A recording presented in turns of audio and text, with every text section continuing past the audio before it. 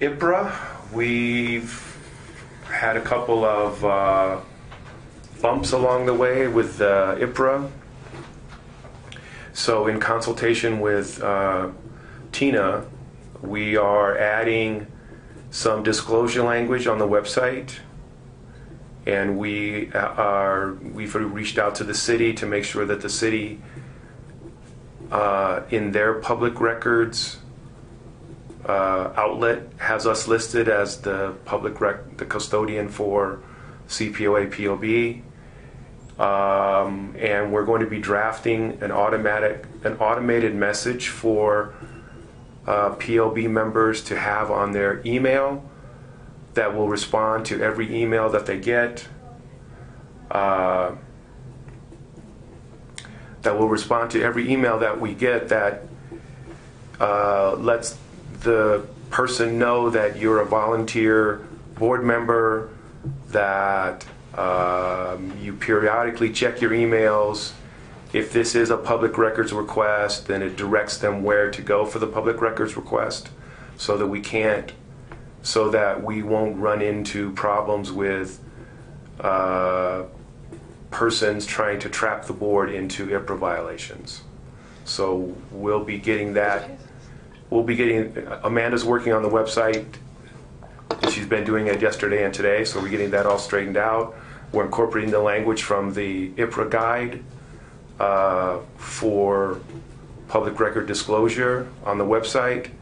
And then we'll get that draft out to the board members for them to set up their automated messages. Uh, Amanda is checking with IT to see if IT can do it for you. If not, it's something that you'll need to set up for yourselves. And uh, let's see. Uh, Can I can I ask a question about that if you're getting ready to move on? sure. Okay. Is there any kind of like unforeseen repercussions um, that we should be talking about? Any what are what are the potentials for having an automated draft or an automated automated response like that go out? Is there anything we should be thinking about when it comes to that? Um, I'm not sure what what your what what your concern is. I don't know. I, I don't want. I don't want it to. You know, initially my my gut says I don't want that to be the scapegoat for board members now or in the future to not check their emails because they've got they've got this uh, automated response that's doing that. So I can see that happening. I don't know if we care about that. Um, other members of the public who are not emailing board members for that purpose, for an IPRA request or whatever, kind of maybe feeling slighted by something like that. I don't know. Uh, um, I, I, I mean, I guess it's a matter of personal preference.